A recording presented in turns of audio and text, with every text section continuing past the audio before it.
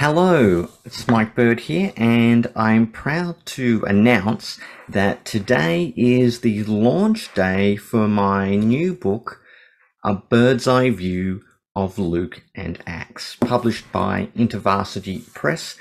This is a book that has been decades in the making. I first began writing this book in about 2007 when I began teaching a course on Luke and Acts at the Highland Theological College in Scotland. And, you know, I kept teaching about Luke and Acts when I was at the Brisbane School of Theology, uh, and also for the last 10 years here at Ridley College. And it's been wonderful to write this. It's taken me a lot longer than I thought. I kind of got a little bit distracted writing a systematic theology and a New Testament introduction and a few other things, but I was able to grind my way through and eventually get there. And, you know, I did it because, you know, Luke Acts is an incredibly important part of the New Testament.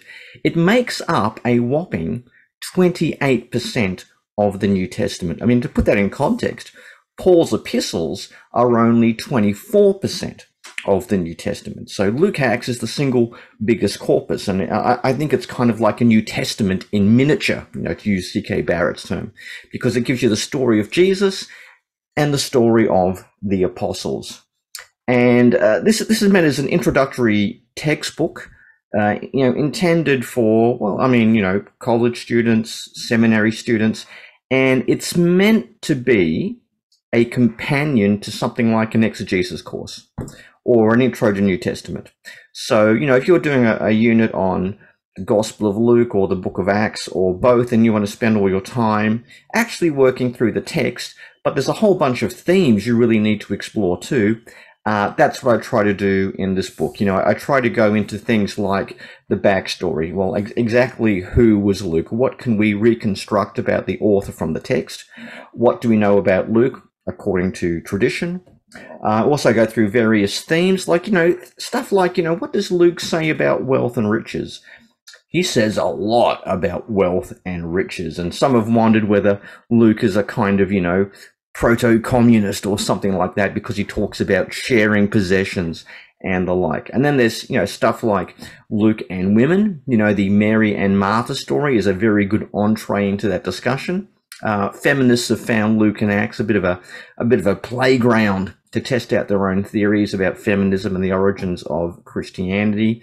You know, there's stuff on Luke and eschatology or final things. What's Luke's hope for the future? Uh, Luke and the Holy Spirit. You know, I argue that Luke was effectively the first Pentecostal theologian, if you like. So that's what I want to do. I want to go through all the sort of, you know, difficult problems that you've got to wrestle with when you're getting into Luke and Acts, particularly like, is Luke a historian or is he a theologian or is he a bit of both? Uh, you know, questions like Luke and the Jews, Luke and the Old Testament, Luke and the Roman Empire. So this is designed to be a companion to people who want to know more about Luke Acts or who are, you know, doing a sermon series on Luke Acts or who are exegeting the Gospel of Luke or parts of the book of Acts don't have all the time to explore every single issue that gets thrown up by this amazing corpus, uh, but really do want to find a way of getting into it without being distracted from the main work of exegeting and studying the actual, you know, the actual text the Gospel, Luke, and the Acts of uh, the Apostles. So uh, this is the book. I commend it to you warmly. Um, hope you all like it. You can find it where all good books are sold. Uh, you could probably find it where bad books are sold as well.